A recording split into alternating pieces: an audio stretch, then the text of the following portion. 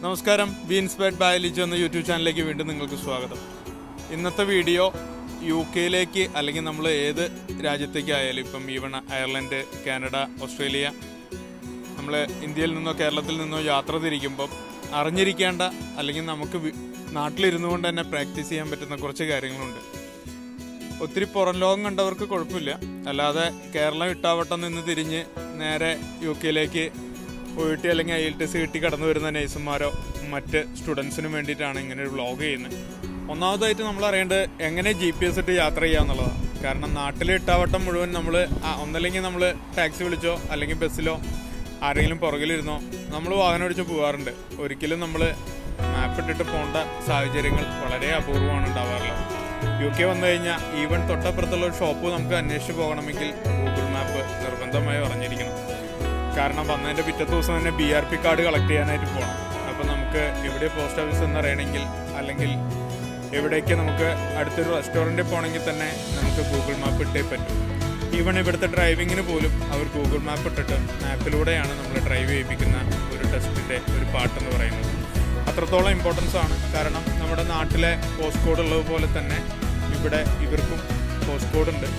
ആ post code ഇട്ടിട്ടാണ് നമ്മൾ എല്ലാ മേഖലയിലേക്കും സഞ്ചരിക്കുന്നത് ഓരോ ഏരിയയ്ക്കും ഓരോ പോസ്റ്റ് കോഡായിരിക്കും ആ പോസ്റ്റ് കോഡിന് അത്രമാത്രം ഇമ്പോർട്ടൻസ് ഉണ്ട്. അതുകൊണ്ട് നമ്മൾ നാട്ടിൽ നിന്ന് തന്നെ നിങ്ങൾക്ക് അറിയത്തില്ലെങ്കിൽ ഗൂഗിൾ മാപ്പ് ഇട്ട് തൊട്ട് പ്രത് പെട്ടിക്കട വരെ പോയാലും അത് പ്രാക്ടീസ് ചെയ്യണത് നല്ലതായിരിക്കുമെന്ന് ഞാൻ വിശ്വസിക്കുന്നു. രണ്ടാമത്തെ ഒരു കാര്യം ഓൺലൈൻ ട്രാൻസാക്ഷനാണ് കാരണം ഇവിടെ മുഴുവൻ നമ്മൾ ക്യാഷ് കൊടുക്കുന്ന ഇടപാടുകൾ വളരെ വിരളമാണ്. എല്ലാം ട്രാൻസാക്ഷൻ ഓൺലൈൻ ത്രൂ ആണ്. അല്ലെങ്കിൽ കാർഡ് ത്രൂ ആണ്. നിങ്ങൾ നാട്ടിൽ നിന്ന് വരുമ്പോൾ തന്നെ ട്രാവലിംഗ് കാർഡ് എന്ന് പറഞ്ഞാൽ നിങ്ങൾക്ക് അവൈലബിൾ ആണ്. അതിൽ കുറച്ച് പൈസ ഇട്ടിട്ട് നിങ്ങൾക്ക് വരാം. അല്ല ഇവിടെ നല്ല നല്ല ബാങ്കുകൾ ഒത്തിരി ഓൺലൈനിൽ കൂടെ തന്നെ നമുക്ക് ബാങ്കുകൾ അക്കൗണ്ട് ചേരാനും എ ടി എം കാർഡ് പോലെയുള്ള ഒത്തിരി കാർഡുകൾ നമ്മുടെ പേഴ്സിൽ എന്നും ഉണ്ടായിരിക്കും.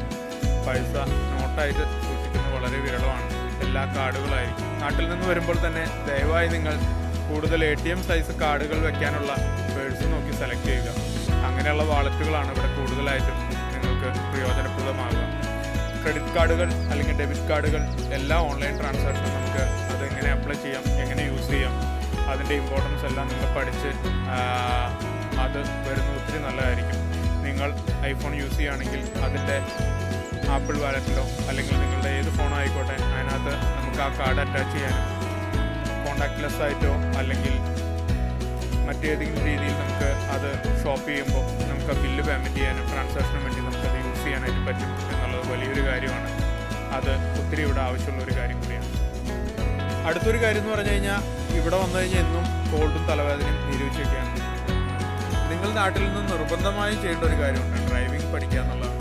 കാരണം യു കെ അയർലൻഡ് ഓസ്ട്രേലിയ പോലെയുള്ള രാജ്യങ്ങളിലെല്ലാം പബ്ലിക് ട്രാൻസ്പോർട്ട് യു കെയിലുണ്ട് എന്നിരുന്നാലും നമ്മൾക്ക് വീക്കെൻഡ് ദിവസങ്ങളിൽ അതായത് ശനി ഞായർ അല്ലെങ്കിൽ ബാങ്ക് ഹോളിഡേയ്സിലൊന്നും വാഹനങ്ങൾ കിട്ടുക പബ്ലിക് ട്രാൻസ്പോർട്ട് കിട്ടുക എന്ന് പറഞ്ഞാൽ അത് വളരെ വിരളമാണ്.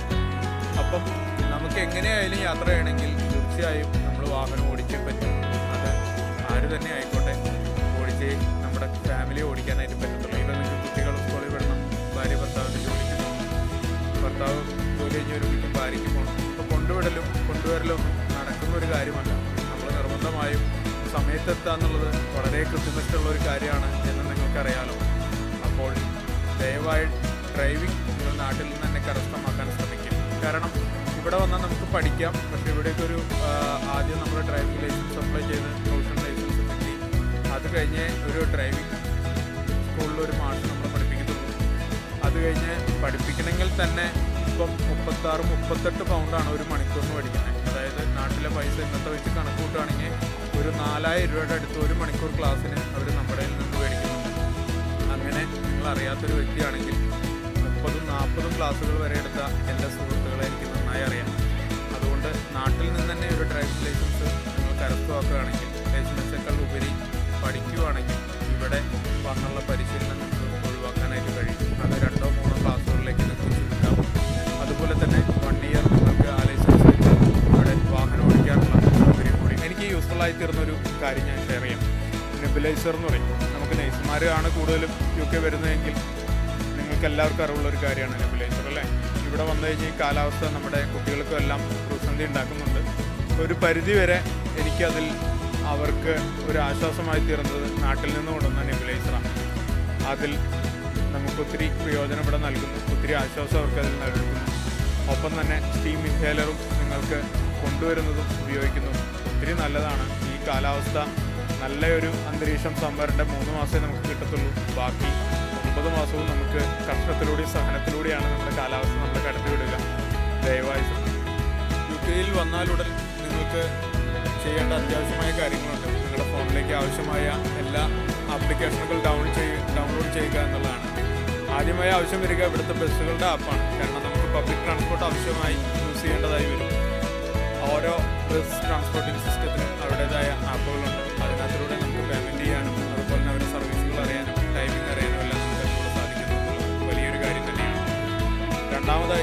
എല്ലാ സൂപ്പർ മാർക്കറ്റുകളും ഒത്തിരി ആപ്പുകൾ അവർ ഇൻട്രൊഡ്യൂസ് ചെയ്തിട്ടുണ്ട്. നമുക്ക് വീട്ടിലിരുന്ന് തന്നെ ഓർഡർ ചെയ്താൽ വരുന്ന തരത്തിലുള്ള സജ്ജീകരണങ്ങൾ അതിലുപരി എല്ലാം ക്രെഡിറ്റ് സിസ്റ്റം പോയിന്റ് സിസ്റ്റം ഒക്കെയാണ്. അപ്പം നാട്ടിൽ നമ്മൾ ഉപയോഗിച്ചിട്ടുള്ളതാണ് റിലയൻസ് പോലുള്ള സ്ഥാപനങ്ങളിലൊക്കെ. അതുപോലെ തന്നെ ഓരോ പർച്ചേസിലും നമുക്ക് ക്രെഡിറ്റ് അവേഴ്സ് ക്രെഡിറ്റ് പോയിന്റുകൾ കയറുന്നതാണ്. ഒത്തിരി ഡിസ്കൗണ്ടുകൾ ഉള്ളതാണ്. ആ വക കാർഡുകൾ അതിന്റെ ആപ്പുകൾ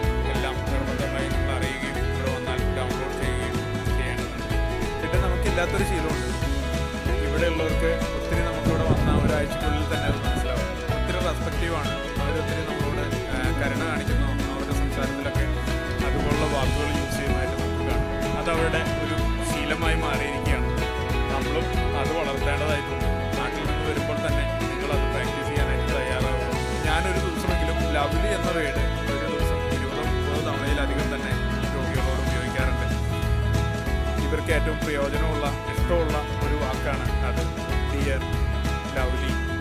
അതുപോലെ തന്നെ പ്ലീസ് എന്നൊരു വാചകം എല്ലാത്തിനും മുമ്പിൽ ചേർക്കാൻ നിങ്ങൾ ശ്രമിക്കുക അത് ശീലിച്ചിരിക്കേണ്ട ഒരു കാര്യം തന്നെയാണ്.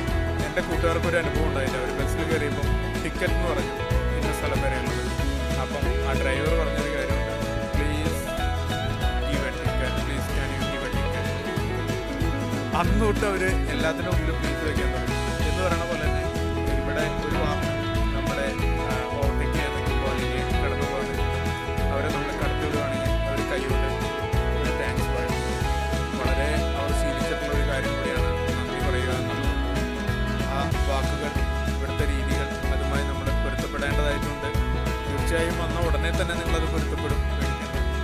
പാക്ക് ചെയ്യുമ്പോൾ തന്നെ നമ്മൾ ഒത്തിരി നമുക്ക് ഇഷ്ടപ്പെട്ട കുറേ സാധനങ്ങൾ കൊണ്ടുവരാറുണ്ടല്ലേ ഞാനൊക്കെ ഒത്തിരി ഉണക്ക ഉണക്കമീനൊക്കെ കൊണ്ടുപോകുന്നു അതുപോലെ തന്നെ നമ്മുടെ സ്പൈസി ഫുഡൊക്കെ ഇപ്പം നമ്മളെല്ലാം നാട്ടിലേക്ക് കറിയൊന്നും വെച്ച് പഠിച്ചിട്ടുണ്ടാവില്ല. ഇവിടെ വന്നിട്ടായിരിക്കും പരീക്ഷണങ്ങൾ ചെയ്യാം ഞങ്ങൾ വന്നതിന്റെ പിറ്റത്തെ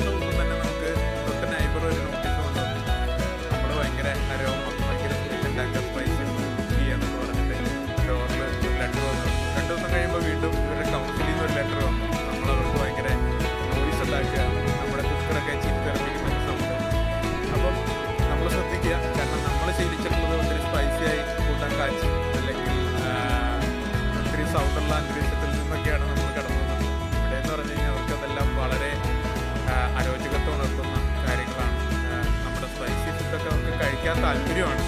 പക്ഷേ ഈ വരുന്ന മണവും ഈ വരുന്ന ശബ്ദങ്ങളൊന്നും ഒരിക്കലും അവർക്ക് പലപ്പോഴും ആക്സെപ്റ്റ് ചെയ്യാനായിട്ട് പറ്റാറില്ല. പിന്നെ ഇപ്പം മലയാളികൾ കൂടുന്നതുകൊണ്ട് അവർ അതുമായി പൊരുത്തപ്പെട്ട് വരുന്നു.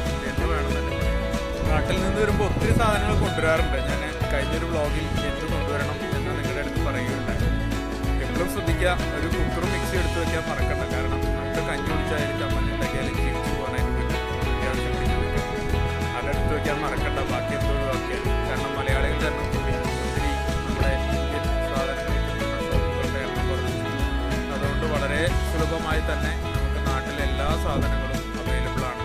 ഈവൻ മിക്സിയും കുക്കറും വരെ വന്നു തുടങ്ങി. പക്ഷെ നമ്മുടെ ആ ക്വാളിറ്റിയുള്ള സംഭവങ്ങൾ കിട്ടാൻ ബുദ്ധിമുട്ടാണ് അതുകൊണ്ട് നിങ്ങളുടെ പാക്കിങ്ങിൽ തീർച്ചയായും ഈ രണ്ടും ഉൾപ്പെടുത്താൻ മറന്നുപോകരുത് അടുത്ത് നിങ്ങൾക്ക് ചെയ്യാൻ കഴിയുന്ന ഒരു കാര്യമാണ്. നമ്മൾ ഏത് ലൊക്കേഷനിലേക്കാണ് പോകുന്നതെന്ന് നമ്മൾ അറിഞ്ഞു കഴിഞ്ഞു കഴിഞ്ഞാൽ അവിടുത്തെ പ്രാദേശിക ചാനലുകൾ അങ്ങനെയുള്ള പ്രോഗ്രാമുകൾ കൂടുതൽ കളിക്കും. കാരണം ഞാൻ വന്ന വെയിൽസിലോട്ടായിരുന്നു വെയിൽസിലെ കാർഡിഫിലായിരുന്നു. ഇവിടെ എന്താ പ്രശ്നം പറഞ്ഞാൽ ഇംഗ്ലണ്ടിനെ അപേക്ഷിച്ച് ഇവിടെ ഒരു ഭാഷയും കൂടി ഉണ്ട് വെൽഷും കൂടി ഉണ്ട്. അപ്പോൾ ഇവിടുത്തെ ആൾക്കാർ സംസാരിക്കുമ്പോൾ ഒരു വെൽഷ് സ്ലാങ്ങോട് കൂടിയാണ് ഇംഗ്ലീഷ് പറയുന്നത്. പലതും നമുക്ക് മനസ്സിലാകാൻ ആരംഭഘട്ടത്തിൽ ഭയങ്കര പ്രയാസമായിരുന്നു. അതുകൊണ്ട് തന്നെ നിങ്ങൾ ഇങ്ങോട്ട് വരുന്ന ലൊക്കേഷൻ മനസ്സിലാവുകയാണെങ്കിൽ അവിടെയുള്ള ന്യൂസ് ചാനലുകൾ നിങ്ങൾ കയറുക.